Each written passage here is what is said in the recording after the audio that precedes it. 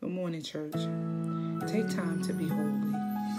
The word holy does not mean goody goody, it means set apart for sacred use. That is what these quiet moments in my presence are accomplishing within you. As you focus your mind and heart on me, you are being transformed, recreated into the one I designed you to be. This process requires blocks of time set aside for communion with me. The benefits of this practice are limitless.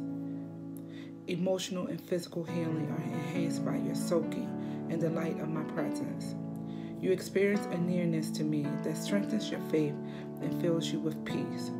You open yourself up to receive the many blessings that I have prepared for you. You become a cleansed temple of my Holy Spirit, who is able to do in and through your immeasurably more than you ask or imagine. These are just some of the benefits of being still in my presence. So, church, this morning, my message to you is, is to take time to be holy.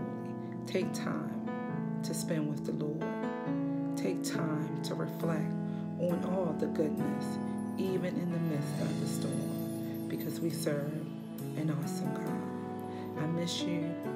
I love you. I can't wait till we can fellowship again. Amen. Have a blessed week. Thank you.